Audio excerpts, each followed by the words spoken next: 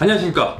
제벌입니다. 지난 영상에서 보셔서 아시겠지만 제가 지금 S클래스를 팔고 카푸어 생활을 청산하면서 지금 요즘 시름시름 앓고 있어요. 사랑하는 일을 떠나고 했을 때 마음이랄까? 그런 생활을 요즘 제가 하고 있는데 그래서 매일 지금 컴퓨터로 검색은 하고 있어요. 아 다음엔 어떤 차를 좀 골라야 될까? 그래서 아직도 지금 선택을 못한 상황이거든요. 그리고 또 댓글에 이런 댓글이 많이 달리더라고요. 아예 어차피 재벌은 금수저여서 크게 걱정 안 해도 된다. 아니 여러분들 제가 금수저라면 S클래스를 팔았겠습니까? 제가 S클래스를 타면서 느낀 게 뭐냐면요. 야, 이 차라면 진짜 평생 타도 되겠다. 아니, 이 정도의 차가 있어? 제가 그동안 시승기도 찍고 또 여러 가지 차를 겪어오면서 수많은 차를 타봤지만 이 정도의 감동을 준 차는 없었거든요. 정말 그 승차감이라든지 에어 서스펜션을 전달해주는 이 노면 느낌, 그리고 이 시트가 주는 이 편안함, 이 모든 게 다 맞았던 차예요. 제가 금수저라면 이 차를 팔 리가 없겠죠. 네, 평생 소장하면서 다른 차를 또 샀겠죠. 그리고 또 두 번째 질문이 많아요.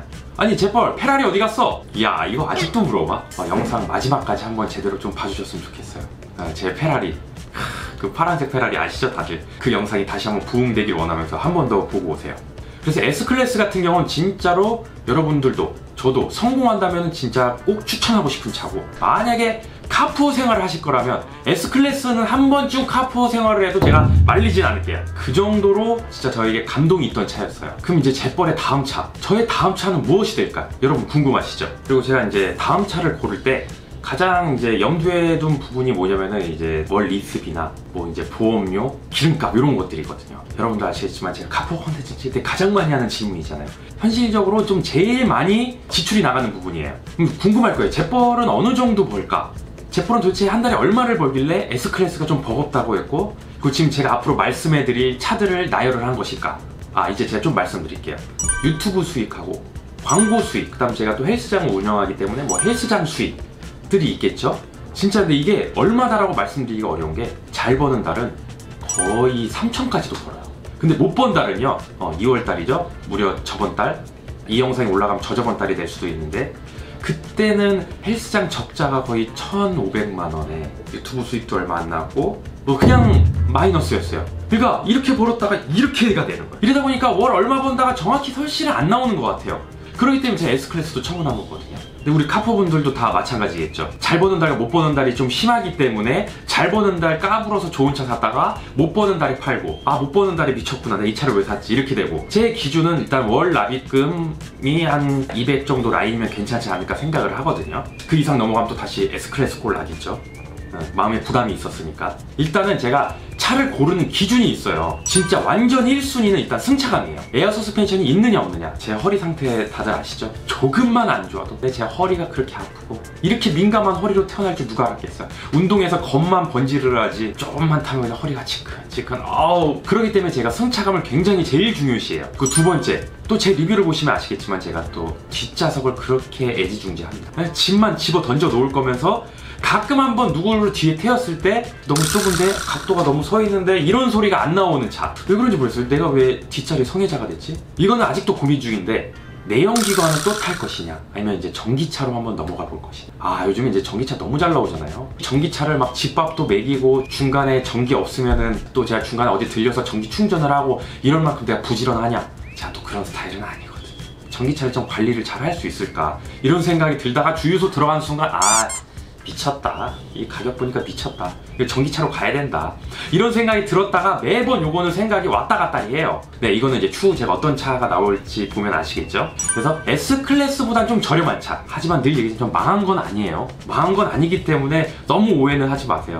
그래서 여러분들이 저에게 실망을 하지 않을 카푸어 생활을 좀 그래도 가볍게 저번 S 정도는 아니어도 가볍게 할 수 있는 차. 그리고 유튜브 각까지 좀 나올 수 있는 차. 이런 차가 뭐가 있을지 제가 늘 검색을 하고 있어요.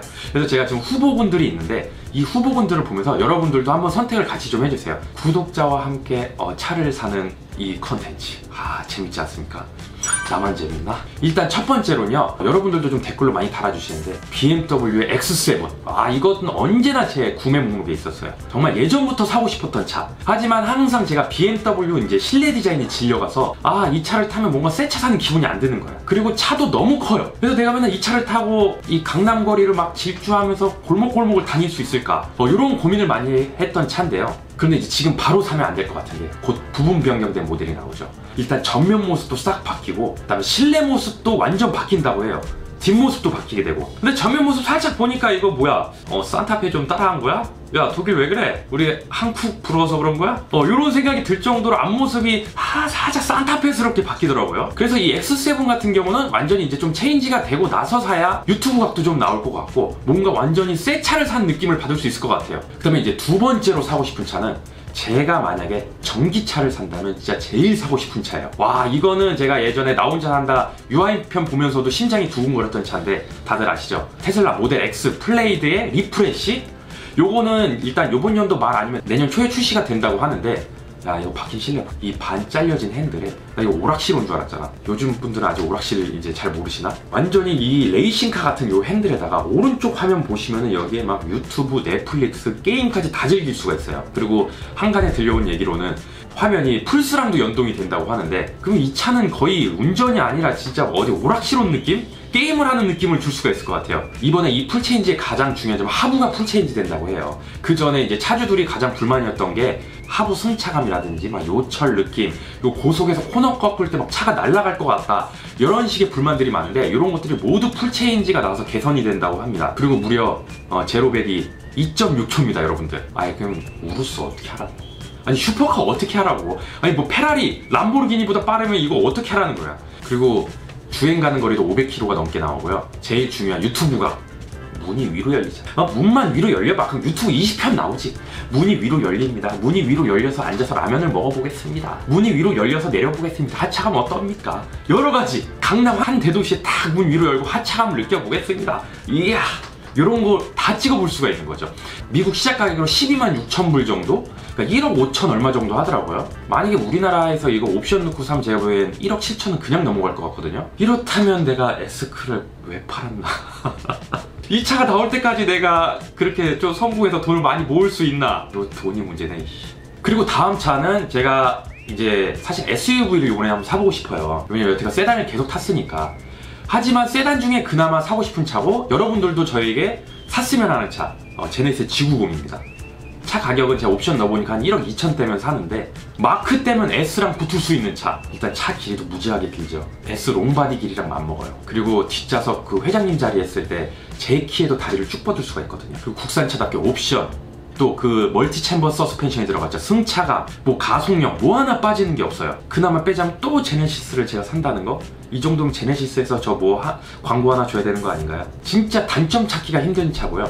S 클래스랑 좀 비빌 수 있는 차. 디자인도 지, 저처럼 젊은 38살에 딱 맞지 않아요? 이 차도 항상 지금 구매 목록에 있어요. 그리고 다음 차도 진짜 제가 어, 구매 목록에 있는 차고 이건 실제 견적까지도 받아봤어요. 바로 아우디의 Q8 55 TFSI입니다. 가솔린이죠 월 납입금이 160, 70 정도 선까지는 맞춰지더라고요. 그래서 S클래스 270 내던 거에 비하면 100만 원을 저금할 수 있는 거야. 그런데 우리 카푸어가 그 100만 원을 저금을 하냐? 아니죠. 100을 또 어디다 갖다 쓰겠죠. 일단 이 차는 제가 시승할 때마다 칭찬하는 차고 쿠페형 디자인 중에선 제일 공간도 넓고 광활하고 가성비가 짱이에요. 경쟁차인 S6나 GL 쿠페 이런 거에 비해서도 훨씬 더 광활하죠. 그리고 보급형 우르스답게 OTF-SI를 사잖아요. 그러면은 블랙 패키지로 해서 전면, 측면, 후면 쫙 이렇게 바뀌어서 나와요.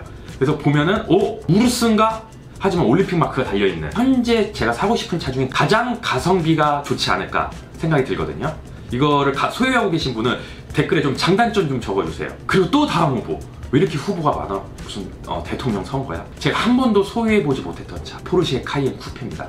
이거는 성능이고 옵션이고 가격이고 다 떠나서 그 마크를 한번 소유해보고 싶어요. 한번 살려면 좀 굉장히 오래 기다려야 되고 군대 가는 아들과 함께 계약을 넣는다면 제대하는 아들과 함께 받을 수 있다는 그 차입니다. 자 다음 차는 저에게 카푸어의 정점을 찍게 해줬던 차. 제가 타면서 와 이건 진짜 너무 차 좋다. 그리고 폭풍 할인까지 받을 수 있는 차. 지금 BMW 김 과장님이 저에게 뽐뿌를 넣고 있죠.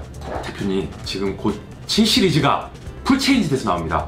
이걸 사셔야죠. 이제 다 바뀝니다. 기대하셔도 좋습니다. 또 할인도 해 많이 해줄 겁니다. 어 이런 소리는 아직 안 했어요. 할인을 좀 이제 기다려야 되긴 하지만 곧 7 시리즈가 full change 돼서 나옵니다. 야 이건 정말 좀 기대가 돼요. 어떻게 승차감 개선이 좀 됐을지. 왜냐면 제가 7 시리즈 타면서 허리가 좀 많이 아팠었거든요. 그런데 성능은 정말 S랑 비빌 수가 없을 정도로 잘 나갔어요. 그때 당시에 제가 740D를 탔었는데요. 정말 대리운전할 때마다도 그 기사님들이 와 차 너무 좋다. 너무 잘 나간다. 진짜 정말 칭찬을 많이 했던 차예요. 근데 BM은 아시겠지만 신차 나오자마자 사면 좀 호구 가 될 것 같고 만약에 분기 마감이나 연말을 기다리다 보면 좀 강력한 할인이 나올 수도 있겠죠.